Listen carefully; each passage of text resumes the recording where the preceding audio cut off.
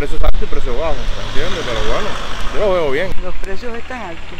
Las multas esas tienen que ponerse a la, a la gente que vende en el, el- cosas de, de- del agro. La violación de los precios de productos y servicios es uno de los temas más debatidos desde los primeros meses del año. Lo importante sería cortarles el paso a tiempo para que la billetera de algunos no se ensanchen a costa del resto de la ciudadanía. Hoy desde Cuba hablamos sobre el control de los precios, las contravenciones del decreto número 30 y cómo desde los gobiernos provinciales se adoptan medidas para enfrentar este problema.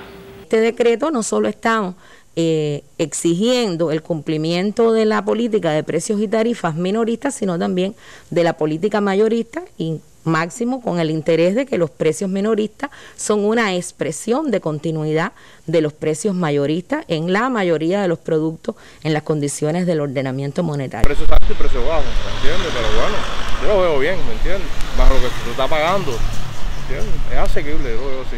Los precios están altos, altos.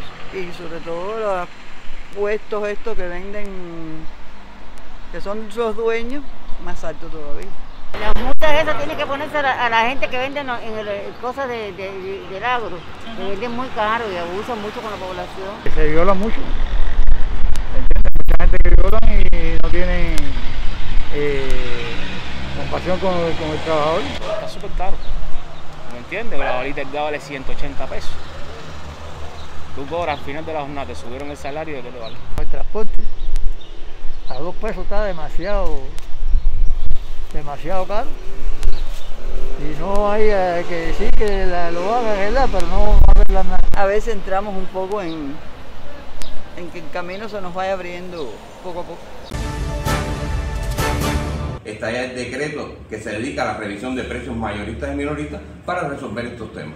El decreto establece la revisión de precios minoristas a la población a partir de lo que está aprobado y lo que está eh, regulado en las resoluciones que ha emitido el gobernador, en este caso, o los gobiernos, o los organismos de administración central del Estado y la formación de precios mayoristas.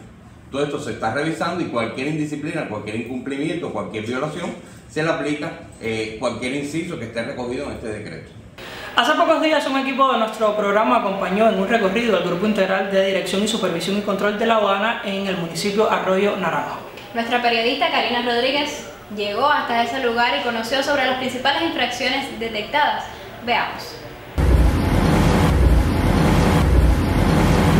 Aquí se detecta que trabaja por cuenta propia está violando el decreto 7.1 inciso B, 2 mil pesos, debido a que está vendiendo productos que no se encuentran al alcance de su actividad, que es de productos varios.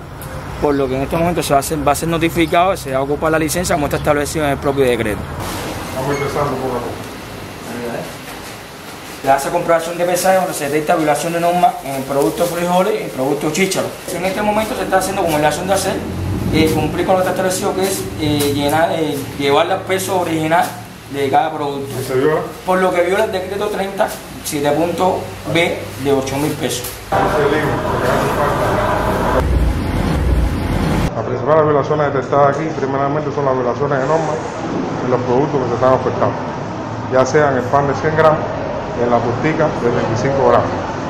Se hicieron una serie de- determinada de muestras y salieron bajos por lo que se viola el decreto ley 30 del 2021 sobre la política de precios. También tenemos otros problemas, como la higiene del centro, que está muy mala, no corresponde a, a como tiene que ser. También tenemos que el pan no tiene la textura, la consistencia adecuada. Todo esto fue identificado en el área de venta. Además, una serie de documentaciones que no estaban realizadas en el momento del proceso. La medida, primeramente, es aplicarle a cada infractor la multa que corresponde en el decreto 30. En este caso, el artículo 7, el inciso B, una cuantía de 8 mil y hasta 10 mil pesos a los infractores, al maestro, al montador por no velar de que se apliquen las normas correctas. Hace cada vez más necesario el control de las autoridades. Yo creo, Ana, que es importante ir recalcar el apoyo de la población denunciando este tipo de situaciones a las personas inescrupulosas que intentan aprovecharse de nosotros. Veamos ahora algunos de los comentarios que han llegado a Cuba Debate. Neo dijo, tienen que venir a playa, las barberías, carretilleros, algunos particulares andan con los precios por los aires. A todas estas, la mayoría no los tienes puestos en alguna tabla, tienes que preguntar por el precio de cualquier artículo y ahí es donde SAS descubres que todos somos vulnerables. Por su parte, Emilio Adrián respondió a Neo diciendo que en playa, aquí en la ciudad de Matanzas específicamente, sucede algo parecido y no de forma escondida. Vayan a las barberías del centro de Matanzas frente al Parque de la Libertad y en la calle del medio y el pelado está a 50 pesos y las carretillas, ¿para qué decir?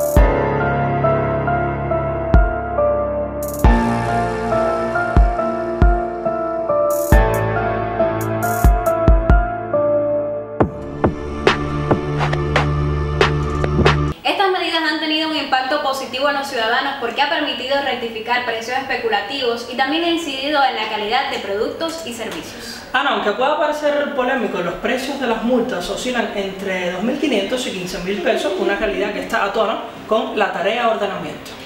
Al final volvemos a hablar de control y calidad porque parecen ser las palabras claves en este escenario. Déjanos saber en los comentarios qué tal te ha ido con los precios en tu territorio. Recuerda informarte con Cuba Debate y seguirnos en nuestras plataformas de redes sociales. Nosotros volveremos desde aquí, desde Cuba.